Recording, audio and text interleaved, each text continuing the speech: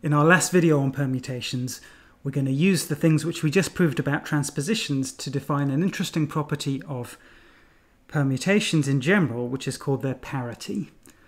So that begins with a definition of odd and even for permutations. And here it is. A permutation is called odd if it can be written as a product of an odd number of transpositions, and even if it can be written as a product of an even number of transpositions. As an example, the identity is always even because you can write the identity permutation as, say, 1, 2 times 1, 2. There it is, visibly a product of an even number of transpositions, namely two transpositions. On the other hand, if you just take the transposition 1, 2 on its own, well, that's visibly a product of one transposition. So this thing is odd. 1, 2, 3, well, we know we can write 1, 2, 3 as 1, 2 composed with 2, 3. So there it is as a product of an even number of transpositions. So this is even. And in fact, more generally, we know for an M cycle, a way to express that M cycle as a product of M minus 1 transpositions. So if you look on the right hand side there, the first index inside the first subscript inside the transpositions goes from 0 to m minus 2. So that's m minus 1 transpositions on the right there.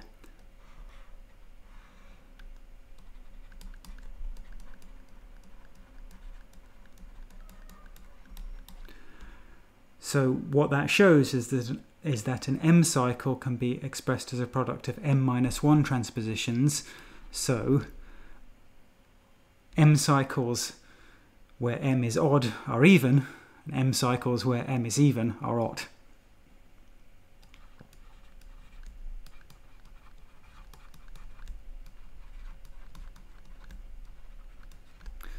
Or to put that another way, odd length cycles are even, and even length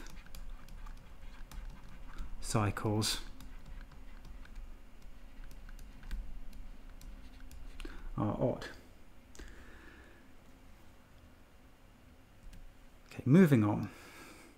There is a big problem with that, um, with our definition of odd and even, or at least there's a potential for something to be a little bit strange about it. And that is that there are lots of different ways to write a given permutation as a product of transpositions. For example, 1, 2. There's 1, 2 as a product of one transposition itself. But I could also write it as 1, 2 times um, 3, 4 times 3, 4. And I could also write it as 2, 4 times 1, 4 times 2, 4. You can check that that's correct if you like, and in many other ways. So who's to say that I couldn't write the same permutation both as a product of an odd number of transpositions and as a product of an even transposition, even number of transpositions. So here all our expressions seem to have odd numbers of transpositions, but couldn't there be some clever way to write 1, 2 as a product of an even number of transpositions? It's not at all obvious that you couldn't do that. So this theorem, which I've written here, is very much not an obvious theorem. The theorem says that no permutation is both odd and even. So you can't write 1, 2, for example, as a product of an even number of transpositions. And you can't write 1, 2, 3, the three cycle 1, 2, 3, as a product of an odd number of transpositions. That's the content of this theorem. Uh, again, I'm not going to give a proof of this. I think this is the kind of um, proof where it's more helpful to sit and work through it at your own pace than to listen to me read it out loud. So if you'd like to see a proof, you can find one in the types notes where there is a careful proof, uh, at least an outline of a proof, that no permutation is both odd and even. In other words, that you can't write one fixed permutation both as a product of an odd number of transpositions and as a product of an even number of transpositions. So let's just say see online notes.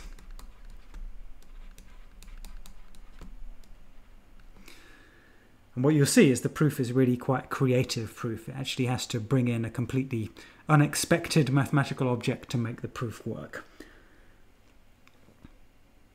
Okay, final slide then. We're going to define the sign of a permutation. Uh, the sign of a permutation, S, is 1 if S is even, and minus 1 if S is odd. And we have a little bit of notation. We write sign brackets S like this to mean the sign of the permutation S. So what the theorem from the last slide says is that sign is actually, it really is a function. If you, if you have a permutation S, then either it's odd, so its sign is minus 1, or it's even, so its sign is 1, but not both. So sign really is a genuine function. So you can think of the sign of a permutation in another way as well. Um, you could also think of the sign of s as being minus 1 to the power m minus 1, where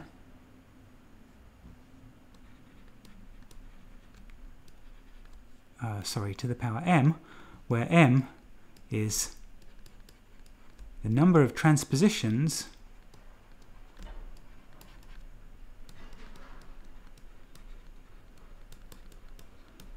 in an expression for s.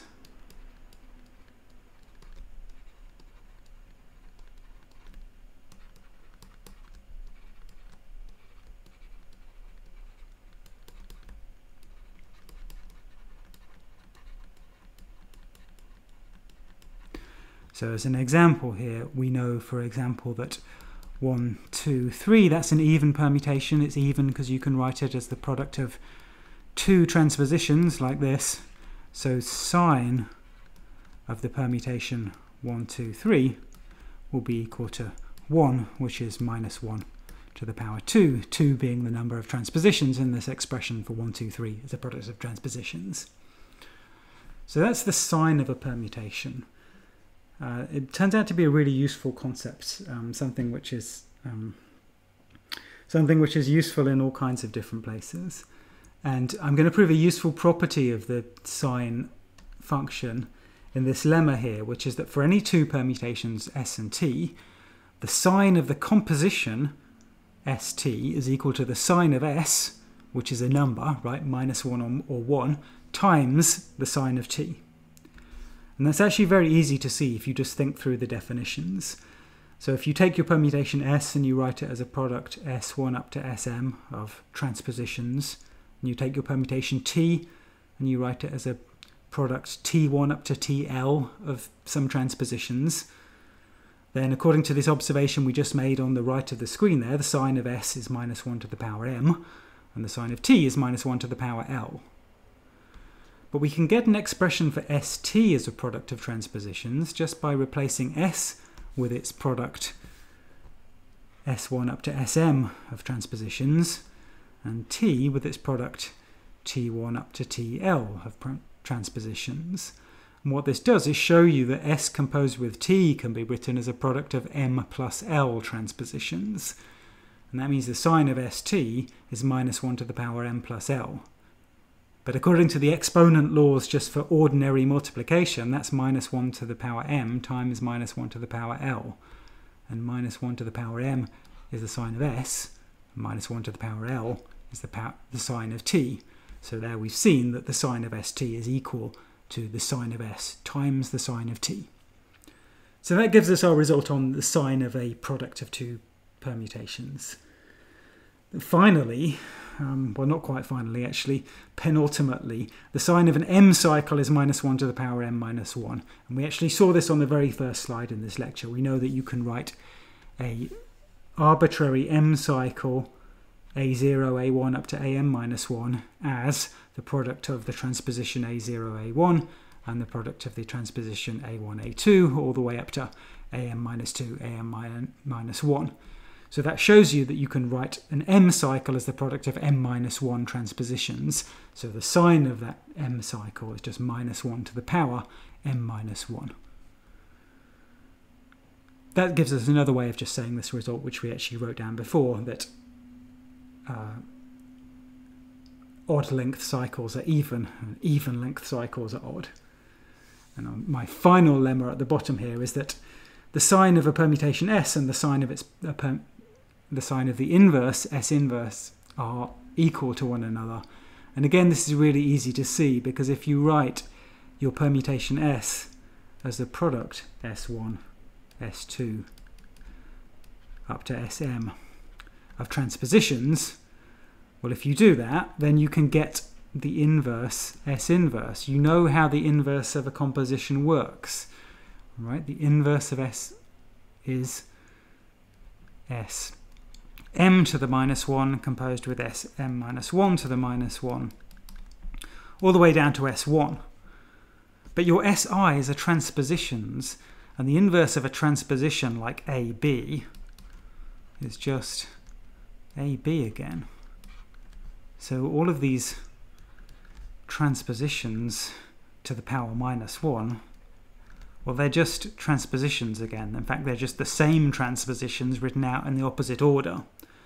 So here is the inverse of S as a product of the same number of transpositions as it took to write S.